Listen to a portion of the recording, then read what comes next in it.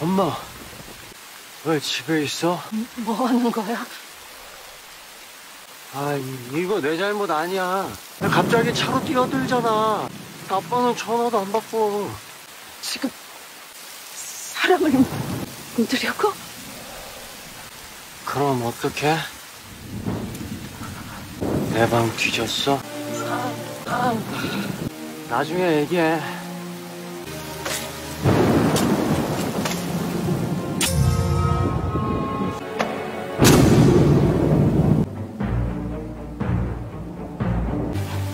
무서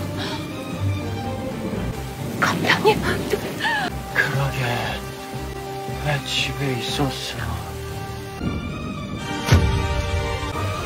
누구나 비밀은 있어요.